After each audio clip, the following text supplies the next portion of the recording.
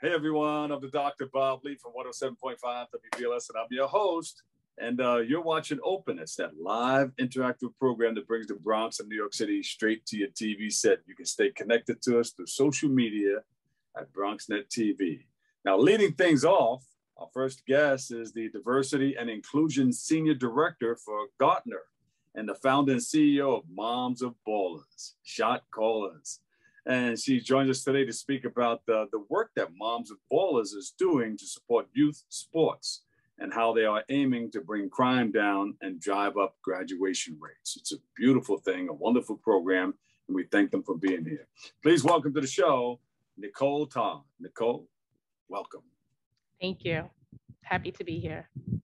Yes. So tell us about the, the shot callers in the house, Moms of Ballers. Yes, sure. Um, Moms of Ballers is a nonprofit organization dedicated to student athletes that focus on basketball. Um, it started off with just being about sports, but once you get, you know, our, our students' attention with sports, then you're able to um, talk to them about nutrition, um, education, right? Um, we've done several events that focus on like social media, um, training. We're now um, helping our girls um, during graduation with different proms events. So it, it's bigger than basketball now, but that's still our focus is to ensure that every kid that has talent is able to play the sport. I think that's a great thing. You're doing a lot of uh, great things with our youth, that uh, the interactions that you do. How impactful has uh, Moms of Ballers been for youth athletes in our community? Yeah, just thinking about some of the anecdotes that we get, um, the feedback from the parents and, and the kids, and they'll say things like, Thank you for allowing us to play this summer because without this sport, we wouldn't have anything to do. Um, yeah. Working moms appreciate us, appreciate us. Not a lot of them um, could afford to you know send their their kids to basketball camps and different training um, you know training camps. Um, so we come in right and we're keeping their kids busy making sure that they're in summer youth programs helping out with like tournaments in the parks. Uh, we also do mentoring um, virtually now um, during the pandemic to make sure that they're not feeling alone. Mm-hmm. Um, so all of that has been very impactful because we know like um, suicidal rates went up since the pandemic. Um, kids are, you know, getting in trouble. It's not easy being isolated and away from your, you know, friends at school and at home alone. So we have been able to be very impactful um, in that perspective during the pandemic. Has the pandemic hindered anything that you got you guys are doing with the organization and with our youth? Absolutely. It hindered everything, right? Um, we want to make sure that we're being safe as possible. And when mm-hmm. you're working with children, it's really hard to make that decision to get them together um, or even having them, you know, around. Um, so we're looking forward to this fall, um, getting back into locations. We work with different community centers to, to host like free workouts. Um, so we're, we're looking forward to it. But yes, it has hindered um, a lot of what we do. We haven't been able to do our normal and annual um, basketball tournament called Shoot the Rock, Not the Block, uh, which provides awareness to, to, to gun violence. Um, and we have a lot of fun with like back to school gives away, but we've just been supporting other smaller nonprofits during the pandemic and not really doing anything on our own as yet. Oh, thank you for all that you're doing. Uh, and then you can't wait to get them back indoors because, see, I'm getting ready for the machine. Talk about am, that yes, machine. I am so excited about Vertimax. Vertimax machine is a very expensive piece of equipment, and most yeah. kids in our in our communities would never have the opportunity to experience what it is to work out on a Vertimax. Um, this is a machine that helps you be able to dunk. So of course, all of our kids are excited um, to start using it. Yes, start using it. Um, so yeah, we're super excited uh, about that um, for the fall to provide that training, especially for like our seniors um, who's going to be heading to school and, and, need to step up their game. Um, so we'll be offering that in, in October. So with Vertimax, I guess it helps you with your vertical jump, right?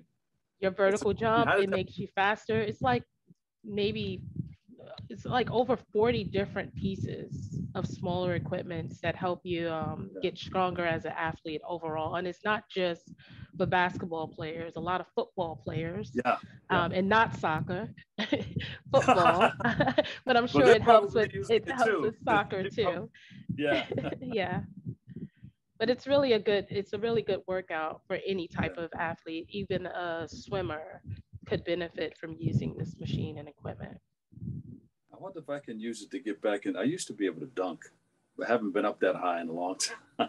well, that's between you to... and your knees. can I come over to your program and just maybe mess around with it just a little bit?